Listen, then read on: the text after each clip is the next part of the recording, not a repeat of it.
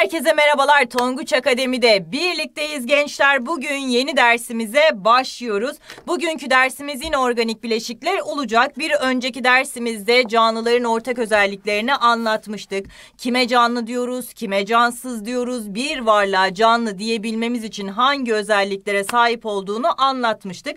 Bugün de artık canlıların yapısında bulunan temel bileşikler kısmına geliyoruz. İnorganik bileşikler tabii ki bugünkü dersimizin konusu olacak. Hemen ödevlerinizi vererek dersimize başlayacağım. Canlıların bu yapısında bulunan temel bileşikler dediğim gibi bugünkü dersimizin konusu gençler. Bugünkü dersi bitirdiğimiz zaman sayfa 28'e kadar sıfırdan 9'a da çözmediğiniz hiçbir kısmın kalmamış olması gerekiyor. Yine Dinamo soru bankamızda da aynı şekilde gençler canlıların ortak özellikleri kısmını bitiriyorsunuz. Bugünkü dersi bitirdiğimizde minerallerin sonuna kadar yani sayfa 21'in sonuna kadar çözmediğiniz herhangi bir kısmın kalmamış olması gerekiyor. Yaslanın arkanıza hazırsanız başlıyoruz.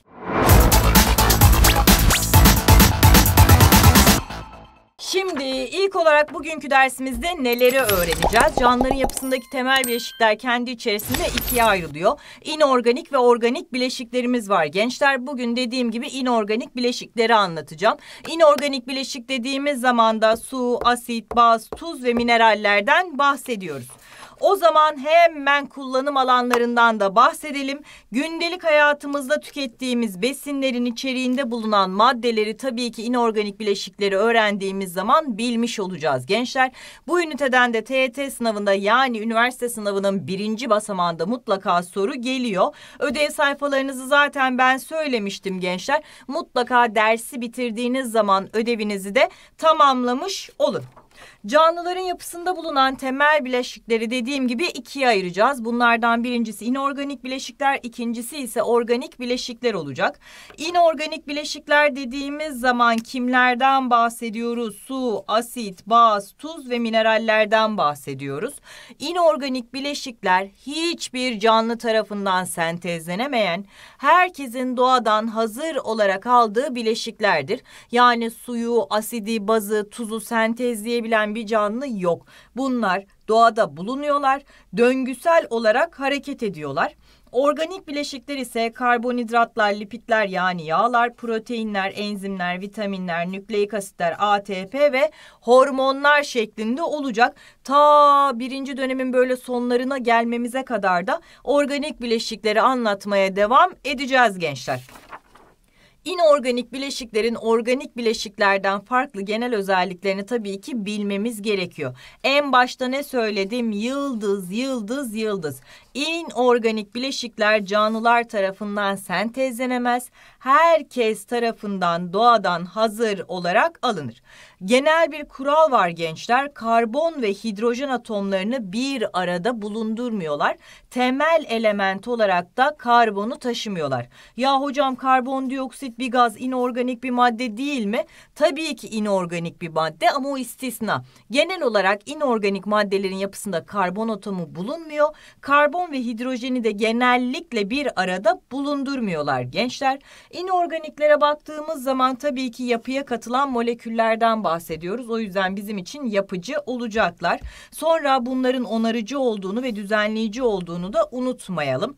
Bunlar için ne dedim? Sindirilmezler hücre zarından doğrudan geçebilecek büyüklüktedir. Biz bunu çok kullanacağız. Bir sonraki ünitemiz hücre. Hücre zarına baktığımız zaman hücre zarında madde alışverişinin gerçekleştiği delikler bulunacak. Bu deliklere de por ismini veriyoruz. Eğer bir şey pordan geçebiliyorsa doğrudan hiçbir sindirime uğramadan onun küçük olduğunu söyleyeceğiz. Eğer bu pordan geçemiyorsa onun büyük olduğunu söyleyeceğiz gençler. Baktığımız zaman inorganik bileşiklerin hangi çeşidi olursa olsun hücre zarındaki deliklerden doğrudan geçebiliyorlar. Aynı zamanda enerji vermezler. Hemen suyla başlıyorum. Suya baktığımız zaman neden bahsediyoruz? H2O'dan bahsediyoruz. tüm canlılarda yani sadece bizim için değil tüm canlılardan bahsettiğimiz zaman vücutta en çok miktarda bulunan bileşen sudur gençler. Organizmanın toplam kütlesinin yüzde yetmişinden fazlası sudan meydana geliyor. Su biyolojik yapıların oluşturulması ve yaşamsal faaliyetlerin devam etmesi için tabii ki gerekli. Dünya ve canlıların vücutlarının büyük bir kısmı sudan oluştuğu için yaşamları suyun varlığına bağlı canlıların. Doğrudan suyun içerisinde yaşayan canlılar var. Mesela balıkları düşünürsen tabii ki onların yaşam alanı su oluyor. Ama su olmadan karada yaşayan mesela bizim de yaşama şansımız yok. Bitkiler fotosentez yaparak tabii ki besin üretecekler. Fotosentez teklemini düşündüğümüz zaman karbondioksit ve suyu bitkiler kullanıyorlar. Güneş ışığı ve klorofil pigmentinin yardımıyla buradan ne yapıyorlar? Besin sentezini gerçekleştiriyorlar. Aynı zamanda atmosfere de oksijen gazı vermiş oluyorlar. Bitkiler besin üretemezse bizim besin kaynağımız ortadan kalkmış olur. Mutlaka onların besin üretmesi lazım. E besinin üretilebilmesi için de tabii ki neye ihtiyaç var gençler? Suya ihtiyaç var. Besinleri yedim, mideme indirdim, ince bağırsağıma gönderdim. Bu besinlerin parçalanarak daha küçüklere dönüşmesi lazım. Besinlerin parçalanmasında yani sindirim olaylarında da tabii ki su molekülleri kullanılıyor. Enzimleri anlatacağız. Diyeceğiz ki olmazsa olmazımız enzimler tepkimelerin çok hızlı bir şekilde gerçekleşmesini sağlıyor diyeceğiz. Enzimlerin çalışabilmesi için ortamda da ortalama yüzde 15-18 oranında su bulunması lazım. Ya da bitkileri düşündüğümüz zaman uzun ince bir sopa şeklindeler diyeyim. toprakta dik bir şekilde duruyorlar gençler. Tabii ki bunun için destek dokuları var. Onun haricinde de bitkilerin içerisinde bulunan su onların dik bir şekilde durmasını sağlar. Sonra hidrojen bağları ile su moleküllerinin birbirine bağlanmasına kohezyon, bulunduğu yüzeye tutunmasına ise adezyon ismini veriyoruz. Bir daha fizik dersinde bunu böyle çok havalı havalı tanımlarla göreceksiniz ama biyolojide sadece küçük küçük anlatacağız. Gençler aynı moleküller birbirine tutunuyorlarsa buna kohezyon deniyor. Farklı moleküller birbirlerine tutunuyorsa buna adezyon deniyor. Bitkileri düşün koskocaman bir ağaç var şurada. Bitki ne yapacak? topraktan suyu çekecek. Çektiği suyu kökleriyle alacak. Ta en üstteki dala kadar taşıyacak. Bitkinin bu topraktan aldığı suyu en üstteki dala kadar taşımasında kohezyon ve adezyon kuvvetleri etkili. Suyun sanki kopmayan bir zincir oluşturmasına kohezyon diyoruz. Su moleküllerinin bulunduğu o taşındığı borulara yapışmasına ise adezyon ismini veriyoruz. Suyun kohezyonuna baktığımız zaman yüzey gerilimi oluşturarak böceklerin su üzerinde yürümesini sağlıyor. Mesela düşünün bazı kertenkele türleri var. Kocaman bir kertenkele suyun üstünde şak şak şak şak yürüyor. Kertenkelenin suyun üstünde o kadar hızlı yürüyebilmesi suyun kohezyon kuvvetinden kaynaklanıyor. Böyle suya bir damla düştüğü zaman yavaş çekimde gösterdiklerinde damlanın etrafını sarıyor. Damla içeriye düşüyor. Sonra parçalanıyor ya su. Bu da yine kohezyon kuvvetinden kaynaklanmış oluyor. Suyun iyi bir çözücü olması da tabii ki pek çok biyokimyasal tepkimede daha kolay işlerin gerçekleşmesini sağlıyor. Kimyasal tepkimelerin gerçekleşebilmesi için tabii ki suyun iyi bir çözücü olması etkili. Zehirli atıkların seyreltilmesi için de suya ihtiyaç var. Şöyle de düşünebilirsin. Bizim idrarımızın çok çok çok çok büyük bir kısmı su. Yani atıkları vücuttan uzaklaştırabilmek için de suya ihtiyacımız var. Bitkilerin topraktan mineral madde almasında suyun etkisi var. Bitkiler topraktan su ve mineralleri alacak, havadan karbondioksiti alacak. İkisini birleştirdiği zaman besin sentezlemiş olacaklar. Mineralleri de kuru kuru topraktan çekemeyecekleri için suyla hareket ettirecekler. Kanda maddelerin taşınmasını da tabii ki sağlamış oluyor. Yine bizim oksijenimiz, karbondioksitimiz, besinimiz bir yerden bir yere kanımız sayesinde taşınıyor. Donuyor. Kana baktığın zaman bunun çok büyük bir kısmı da tabii ki su. Su donarken hacmi artar gençler. Hacmi artıp yoğunluğu azalır. Bu nedenle de bu suyun üstünde yüzer. Normal sıvılarda böyle olmuyor. Mesela normal bir sıvıyı düşün.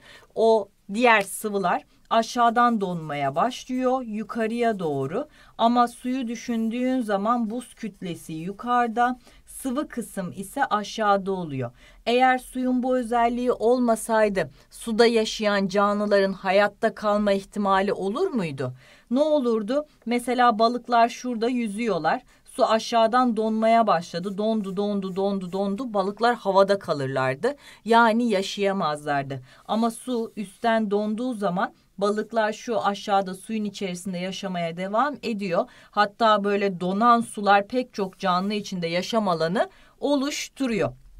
Bu özellik sayesinde su donarken yoğunluğu azalır ve sular yüzeyden donar. Bu da suda yaşayan hayvanların tabii ki yaşam ortamını korumasını sağlamış oluyor.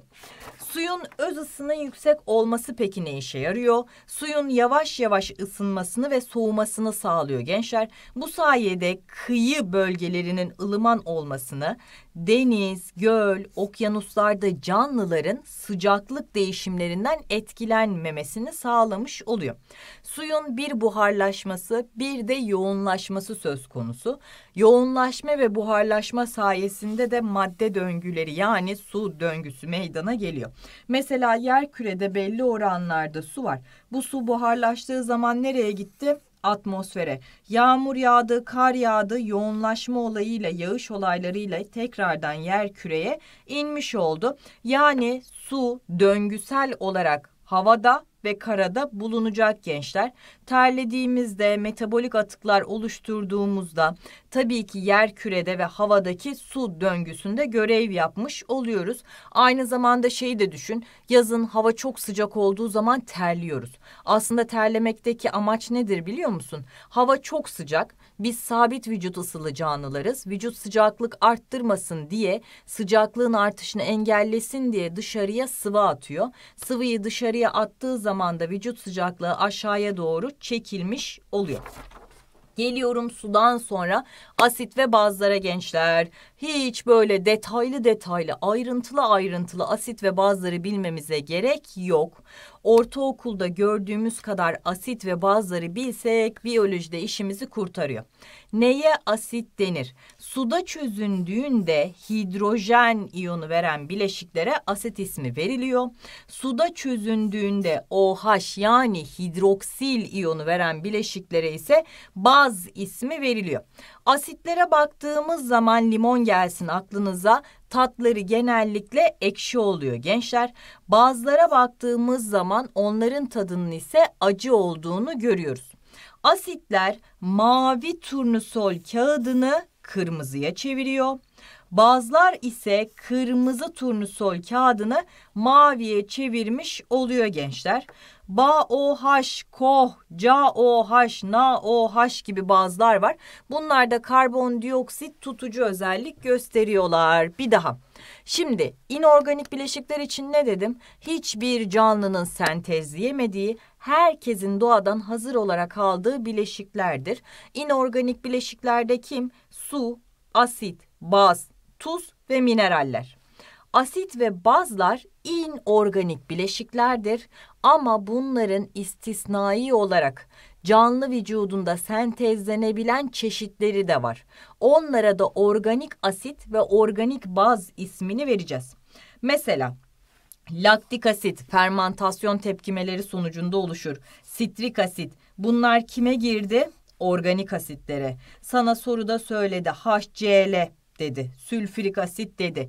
Bunlar ise inorganik asitlere örnektir. Hatta asitlerden hidroklorik asit sorularda karşımıza çıkar. Kuvvetli bir asit olduğunu unutma. Bazılara bakıyorum. DNA'nın RNA'nın yapısında adenin, timin, guanin, sitozin, urasil bunların adı neydi? azotlu organik baz. He, bunlar baz ama organik yapılı. NaOH, potasyum hidroksit bunlar ise inorganik yapılı bazlardır. Hatta inorganik yapılı bazlardan da NaOH sorularda çok fazla derecede karşımıza çıkar diyeyim gençler. Buradan da hemen pH cetvelinden bahsetmek istiyorum. Bilim insanları bir maddenin yapısında bulunan hidrojen konsantrasyonunu ölçmek amacıyla pH cetveli dediğimiz cetveli oluşturmuşlar. pH cetveline baktığımız zaman sıfırla 14 arasında rakamlardan meydana gelmiş olacak. Mesela şurası 12 olduğuna göre 14'e kadar uzanacağına göre şuranın da 14 ve 13 olması gerekiyor gençler. Onları da ben yazmış olayım. Şimdi 7 de bunun neresi? Nötr yani orta noktası olacak gençler. Şöyle bir durum söz konusudur. pH cetveli için ne dedim? 0 ile 14 arasında yer alıyor dedim. 7'den rakam küçüldükçe asitlik artar. 7'den rakam büyüdükçe bazlık artar. Soru. pH 2 mi daha asidiktir? pH 6 mı daha asidiktir dediğin zaman cevabın ne olacak? Tabii ki hocam pH 2 daha asidiktir. Çünkü sıfıra doğru gidiyor. Soru sana dedim ki pH 9 mu daha basittir? pH 13 mü daha baziktir dediğim zaman bu sefer cevabın 13 olacak. Çünkü hocam 7'den rakam uzaklaşıyor diyeceksin. Sorularda her yerin böyle nokta nokta rakam rakam pH'ını bilmeni istemez. Ama vücudumuzla ilgili şu mantığı oturtturalım. Mesela benim mideme baktığımız zaman pH'ı bir buçuk iki civarında. Yani midem asidik bir ortam. İnce bağırsağıma geldiğin zaman yedi sekiz yani yedi küsür sekiz civarında olduğunu görüyorsun. Bazik bir pH'e sahip. He, mideden sonra hemen ince bağırsak geliyor. Mide asidik, ince bağırsak bazik. Demek ki vücudumun farklı yerlerinde farklı pH dereceleri olabilir. Kanımıza baktığımızda pH'ının 7.4 olduğunu görüyoruz. pH'ının 7-2'lere düşmesi 7-8'lere çıkması kişinin ölümüyle sonuçlanır. Yani öyle pH değişiklikleri ama 0.5 oynadı ama 0.3 oynadı bir şey olmaz bundan diyebileceğimiz değişiklikler değil. Vücudumuzun her yerinde birbirinden farklı pH'lar olabilir. Tepkimelerin mükemmel şekilde gerçekleşebilmesi için de ortamın pH'ının uygun koşullarda olması gerekiyor gençler. Asit ve bazlardan bahsettiğimize göre sırada kimimiz var gençler? Tabii ki tuzlarımız var. Asit ve bazların bir araya gelmesi sonucunda da tuz adını verdiğimiz yapılar meydana gelmiş olacak. Asit artı baz bir araya gelince tuz oluyor dedim ya. İki tane küçük bir araya gelip bir tane büyüğe dönüşmüş oluyor.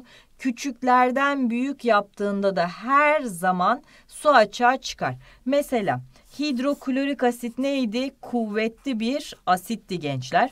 NaOH yani sodyum hidroksit ise bir bazdır. İkisi bir araya geldiği zaman NaCl yani sofra tuzunu meydana getiriyor. Tepkimeden hop ne açığa çıktı? Su açığa çıkmış oldu.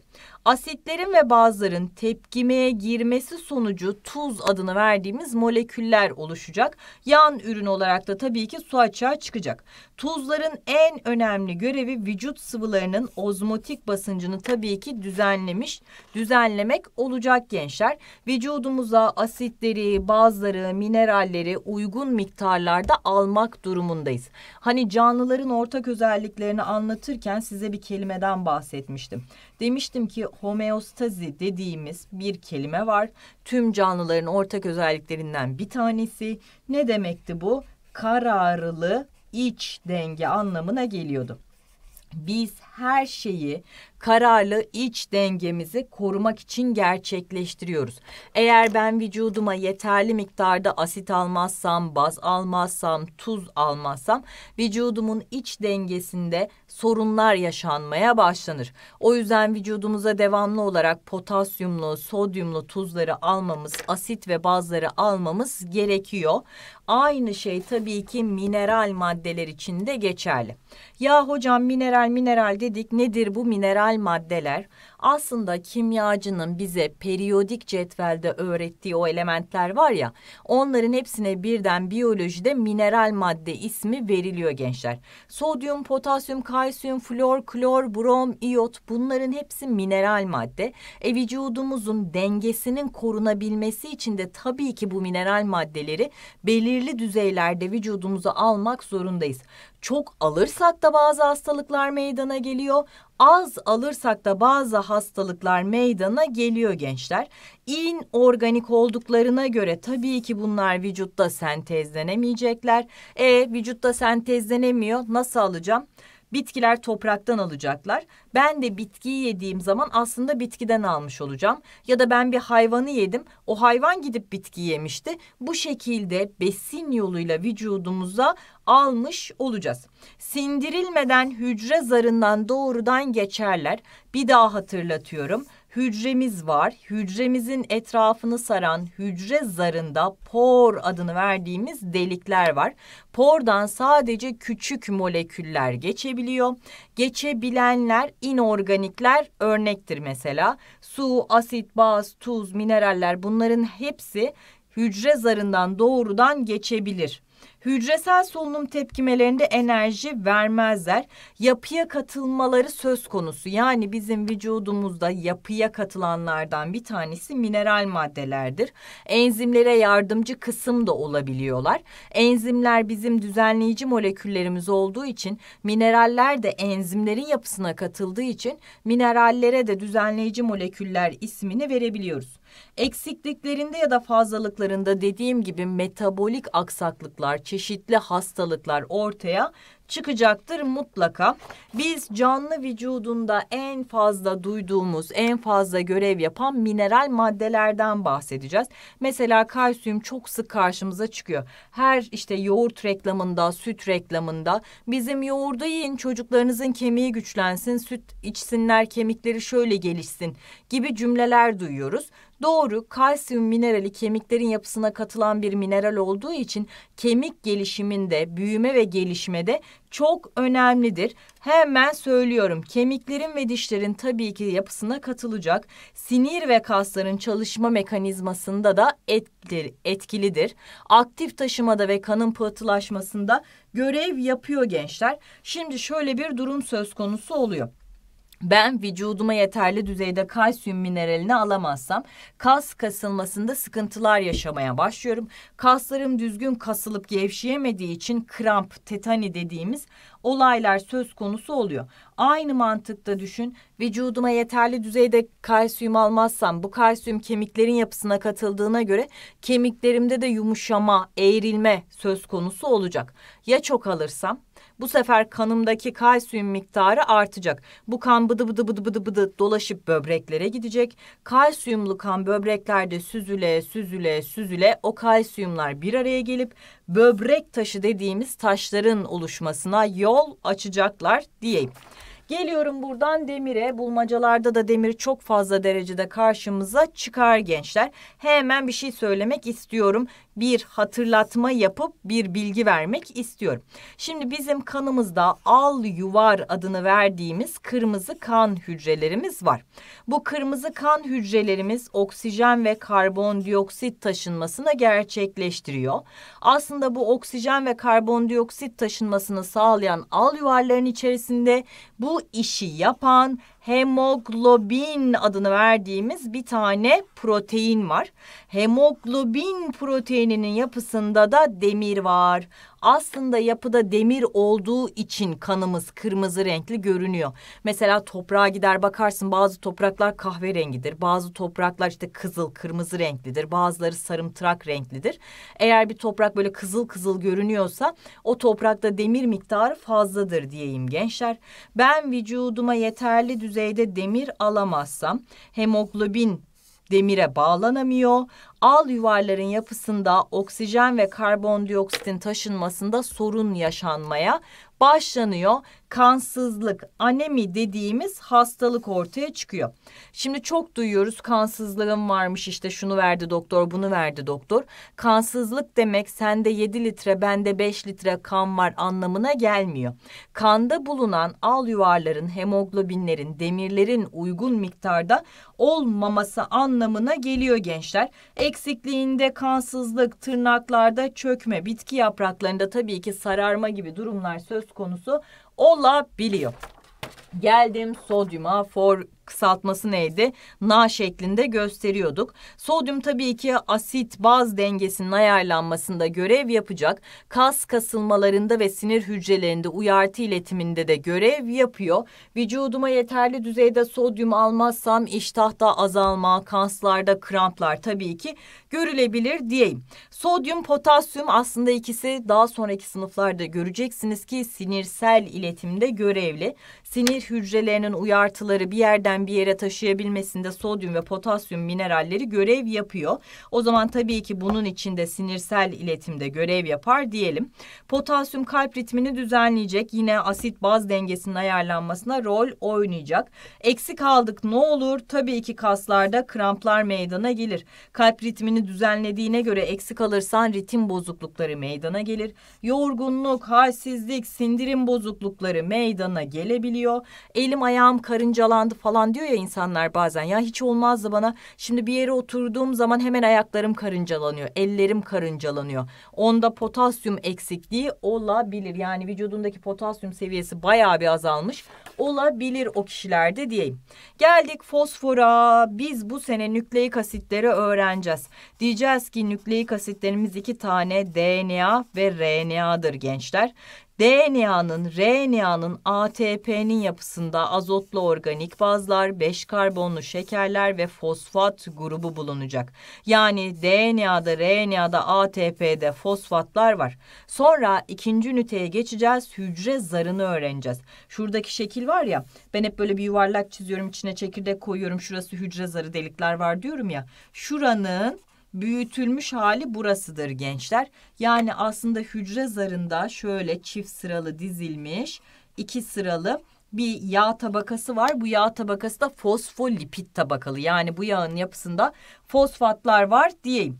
Nükleik asitlerin DNA'nın, RNA'nın, ATP'nin yapısında var dedik. Hücre zarında da şu kırmızı kırmızı gördüğünüz yapılarda fosfatlar var. Fosfat tabii ki kemik ve diş oluşumunda da görev yapacak. Eksik alırsak ne olur hocam? Kemik ve diş gelişiminde sorunlar meydana gelir. Fazlalığı da kemiklerden kalsiyumun azalmasına neden oluyor diyeyim. Yine bulmacalarda aşırı aşırı derecede çok çıkan bir şeyden bahsediyoruz. O da guatr rahatsızlığı dediğimiz rahatsızlık. Şimdi burada da nasıl bir sistem geçerli? Bizim boyun bölgemizde şurada kelebek şeklinde şöyle tiroid bezi dediğimiz bir bezimiz var. Tiroid bezinden de tiroksin hormonu dediğimiz metabolizmanın hızlı çalışmasını sağlayan, metabolizmasının çalışmasını düzenleyen bir tane hormon sentezleniyor. Tiroksin hormonunun yapısında da iot minerali var. Ben vücuduma yeterli düzeyde iot alamazsam tiroksini sentezleyemiyorum. Tiroksin sentezlenmeyince tiroid bezi aşırı aşırı çalışmaya başlıyor. Çalışıyor, çalışıyor, çalışıyor tiroksin bir türlü olmuyor. Çünkü iot yok vücutta. Çalışıyor, çalışıyor, çalışıyor. Tiroksin bir türlü sentezlenemiyor. Çalışıyor, çalışıyor, çalışıyor, büyüyor. Guatr dediğimiz hastalık meydana gelmiş oluyor.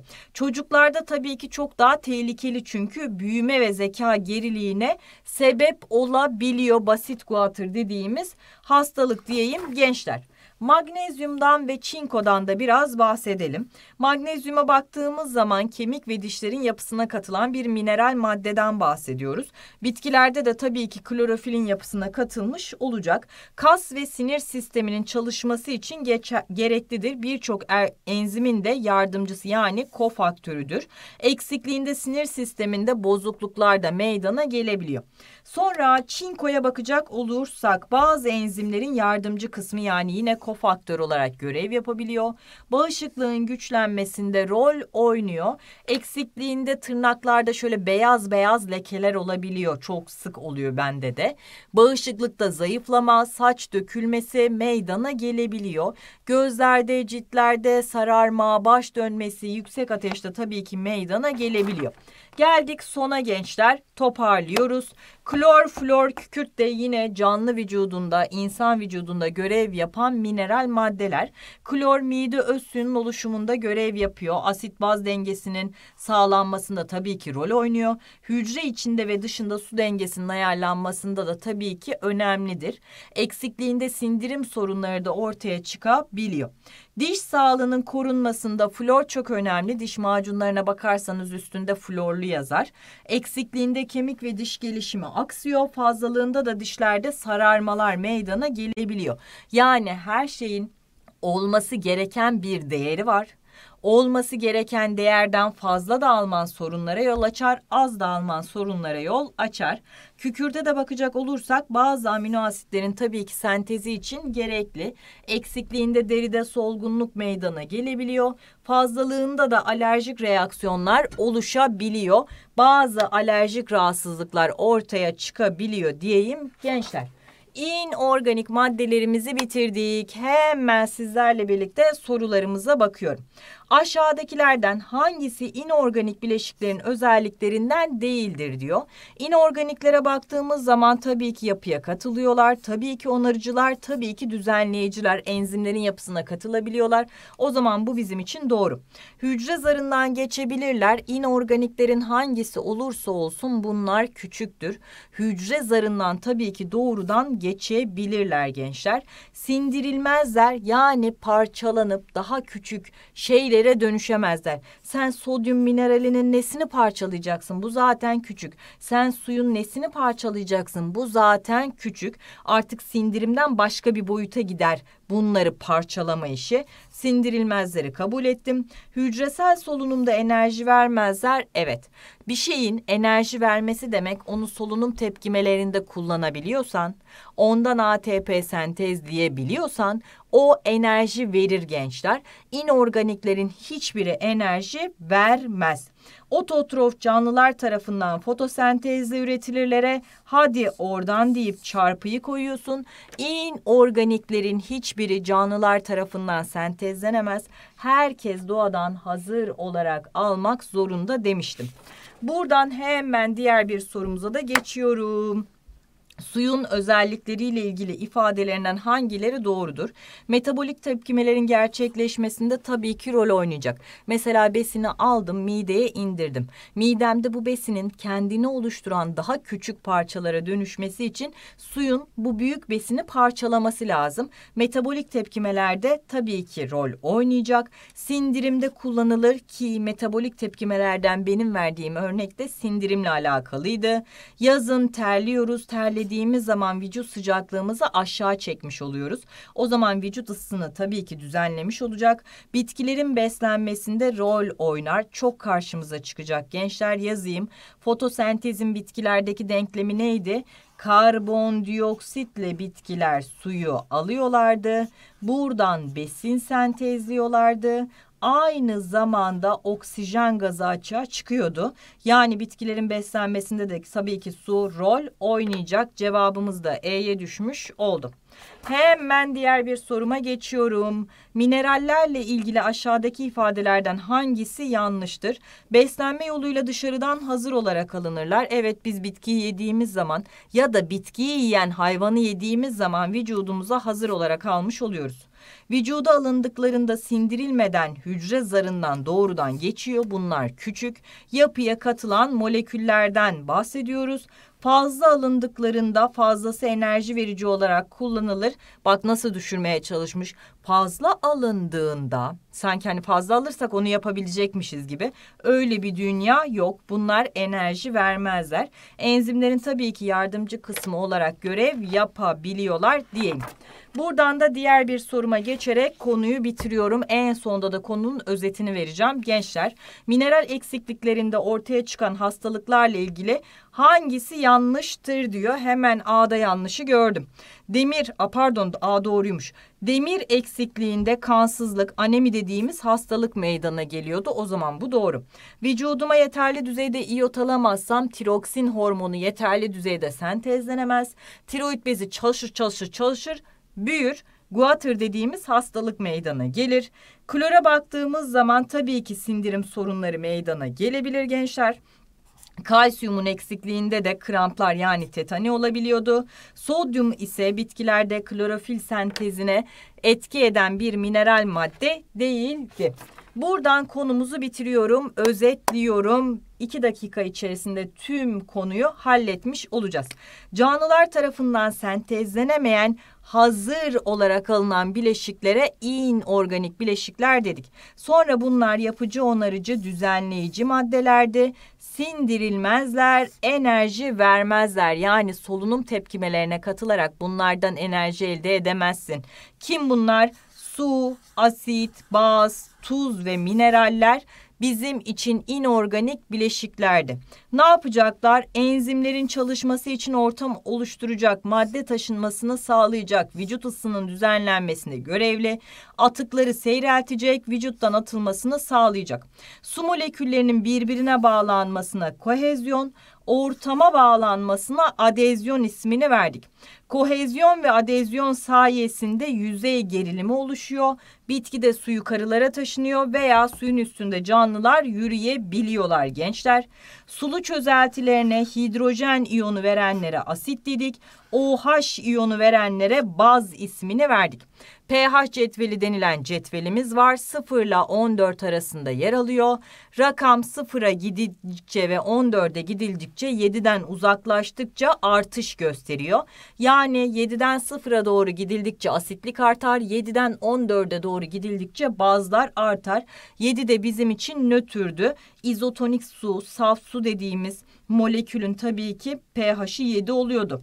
Tuzlar asit ve bazların tepkimeye girmesi sonucunda meydana geliyorlardı. Mineraller de beslenme yoluyla vücuda alınacaktı. Vücudumuzda en çok bulunan mineral madde tabii ki kalsiyumdur. Eksikliğinde veya fazlalıklar alınmaları durumunda çeşitli hastalıklar meydana gelecek. Kalsiyum kemik ve dişlerin yapısına katılacak. Eksikliğinde tetani rahatsızlığı meydana gelecek. Demir al yuvarların yapısında hemoglobin kaslarda bulunacak. Eksikliğinde kansızlık anemi görülecek.